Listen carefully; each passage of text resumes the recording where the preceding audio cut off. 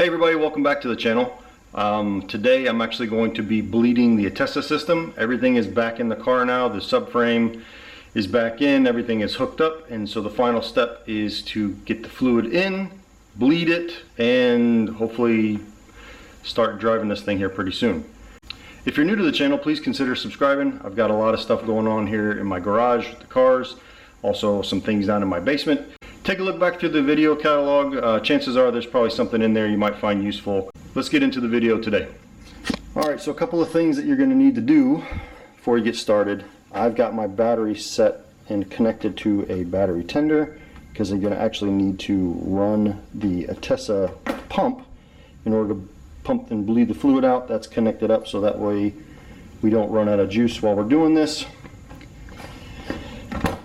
Inside the car there is a kick panel that you will need to remove.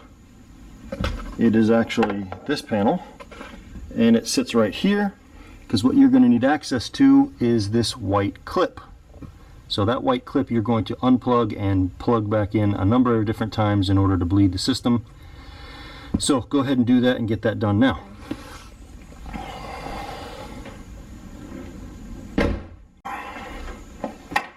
I've already got this pulled aside, but what we're going to do here is you can see the this reservoir for the ATTESA system is completely bone dry now. We have to fill it up. Um, you can see there is a max and min line there, max min. We are going to actually fill this thing up. First step is filling it up 30 millimeters above the max line. Um, because this ATTESA system is completely dry, you might actually need to fill it up more than that in order to uh, in order to get enough fluid down through all the lines down into the ATTESA pump, which basically sits right here directly underneath that. I've got one of these little uh, hoses that's left over from filling my transfer case and it looks like it's probably going to be pretty handy for just pumping this stuff in there. You could probably do this with a funnel, but the way that this thing's kind of back in there, I don't want to spill it everywhere. So I'm just going to pump it in. Alright, you can see I've got it filled up now beyond the max point, but you can see at the very bottom down here, there's actually no fluid in this. So this is a feed side and this is a return side. At least that's the best that I can understand from what I've read so far. Now, in order to get uh, fluid down into the in order to get fluid down into the system, which is under the car, and then have it be able to return back to here so that everything gets filled up, you have to go down under the car and actually open a bleed valve. So now I'm under the car. That's the diff. And that right there is the bleed valve that we need to open up. So apparently all you have to do here is open this up and let gravity do its work. It should bleed that system so that way fluid is coming out. Alright, so I'm to get a tube, connect that up, and then open that bleed valve and then I'll check every once in a while to make sure that the reservoir doesn't go dry. Let's do that. Alright, you can see my setup there and the fluid is starting to come out now and is filling the bottle. So I think we are probably good. I might actually burp it one more time and then uh, fill the reservoir up here and make sure that it's 30 millimeters above the max line and then we'll start the bleeding procedure that, that goes all the way down here where the uh, transfer case is.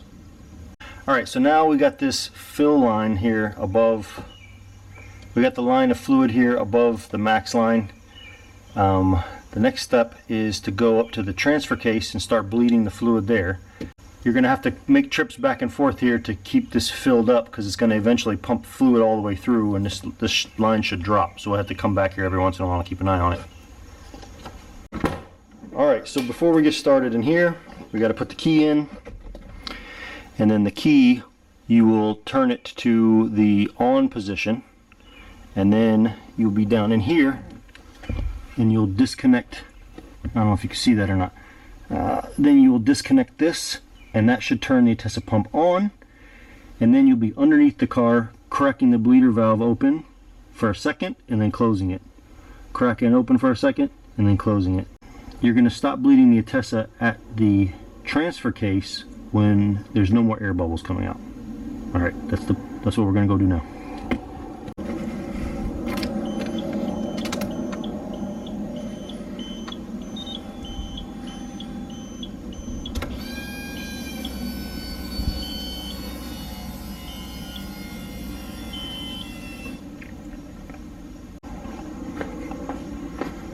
right, so just by turning that on, and you can see that it pressurized the system and it dropped that fluid level down now. So I'm going to add a little bit more, get that line back up here, and then I'm going to go and start actually, I'm going to go then unplug that um, jumper and then start the bleed process at the um, transfer case.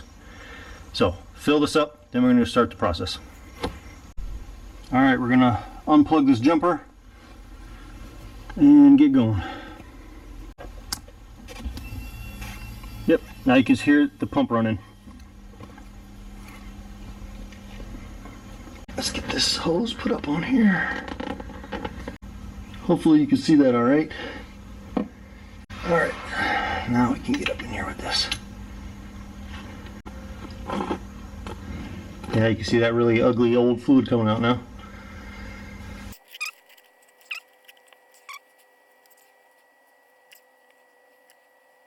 All right, I'm gonna leave that cracked. I'm gonna leave that closed for a minute. I'm gonna go check the fluid level in the trunk, and I'll be right back. Yeah, so that's good. Everything is working. I had that top up a little bit of fluid in the back. Um, you basically just keep doing this until the fluid comes all the way through and you get uh, the the clean fluid because this is the old dirty fluid that was still in the line. Um, yeah, so once you get the clean fluid coming through, uh, and then you'll be done with this step and we can move on to the next bit. All right, I've bled the system up at the, uh, all right, so I finished bleeding the system up there at the transfer case. I'm now back here into the trunk and you can see, let's see if I get this thing to focus.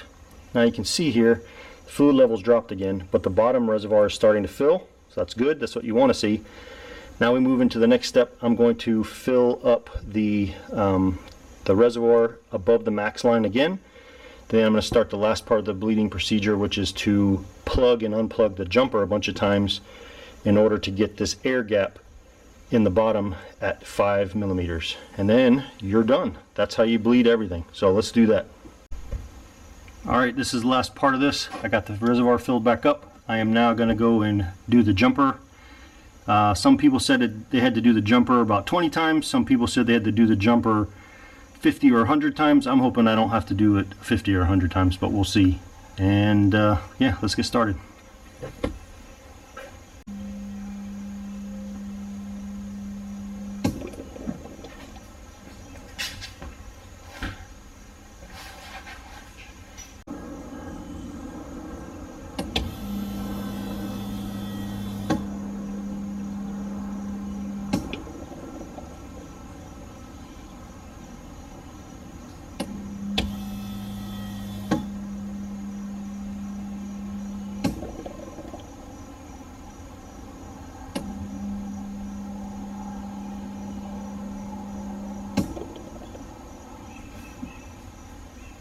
All right, now let me uh, let me go get something to measure that because that looks like that might be pretty close to five millimeters. Uh, let me take a measurement and see where we're at. Nope, that is still more than five millimeters. So let's keep going. All right, I've finished bleeding its system. And if you look here, it is right at about five millimeters so we should be good. And this is eh, it's just above the max line but I'll leave it there. It's fine. I'd rather do that than just have, than have to break the turkey baster out. But that's it. ATTESA system is bled you put your cover back on now. Alright so the next thing is get up under here and check for leaks. That all looks fine in there. This is the area you really need to look for leaks. In here checking all of your ATTESA lines making sure there's no drips. There's no um, ah something fall in your eye. These all feel dry. Fuel lines these are the new fuel lines here. All right let's slide up under here and look for leaks. Up under there is let's see if you can see in there that's where these other ATTESA lines are. These all feel tight. I don't see anything dripping, which is good.